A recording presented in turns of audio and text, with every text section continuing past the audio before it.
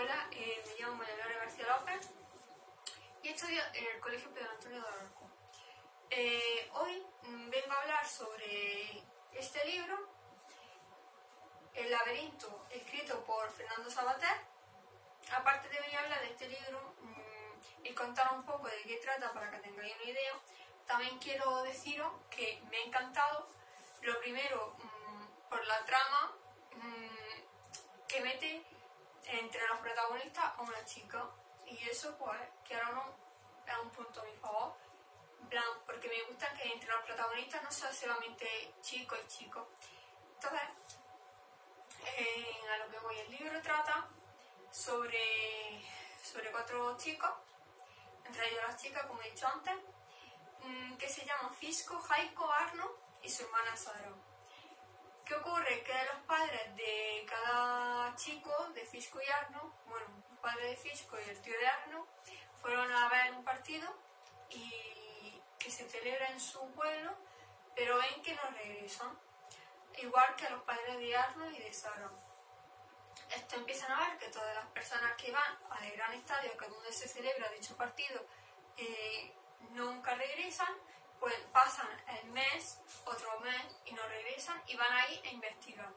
¿Qué ocurre? Que cuando van a investigar mm, descubren que todo es una trampa, que en realidad es como una especie de matadero, donde hay ahí unos bichos, especie humanos y especie mm, varios tipos de animales como monos y leones y todo todo mezclado. Entonces ven que eso se llama sarcófago. Entonces ven que estos animales, mm, por así decirlo, eh, en realidad lo que hacen es comerse pues, a los que van allí.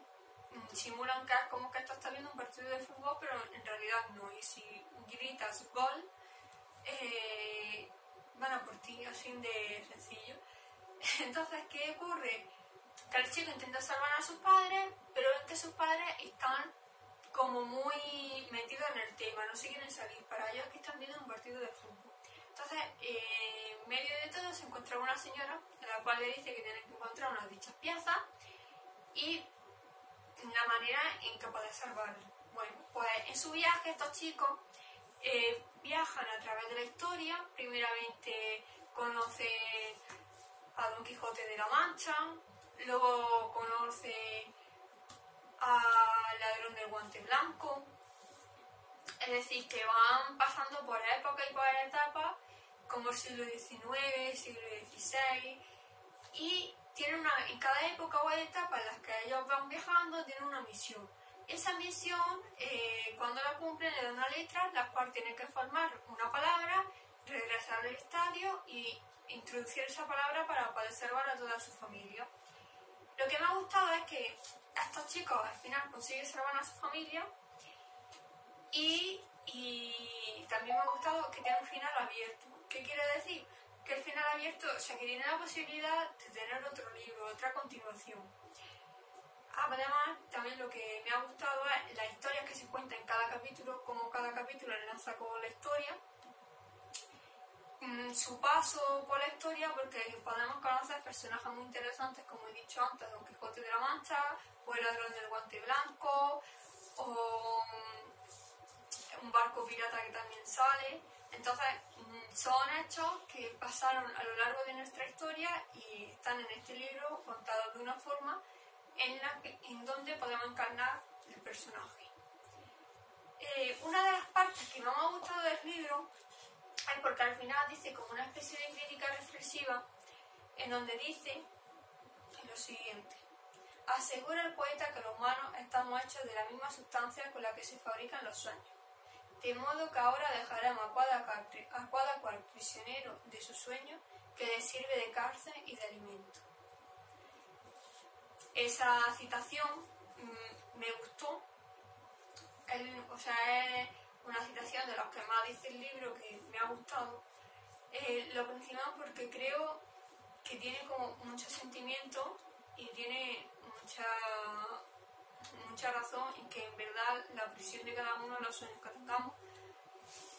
Y mm, lo recomiendo básicamente porque también al final del libro trata un poco sobre el amor y no especifica que sea un amor de chico y chica, como actualmente se ve, sino también trata de una especie de amor entre chico y chico que creo que es muy bueno para introducir hoy en día.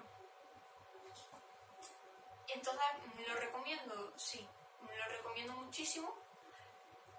Y mm, también le de decir que aunque veáis una portada, porque ya al ver la portada creéis que no me iba a gustar, pero me equivoqué porque el primer capítulo pensé, bueno, está bien, pero ya cuando fui avanzando los capítulos, fui conociendo la historia, me encantó, sobre todo la reflexión esa de los sueños que nos hacen prisioneros y, sobre todo que en los protagonistas haya una chica de protagonista y no tanto héroe como estamos acostumbrados de, de un héroe que salva a la mujer.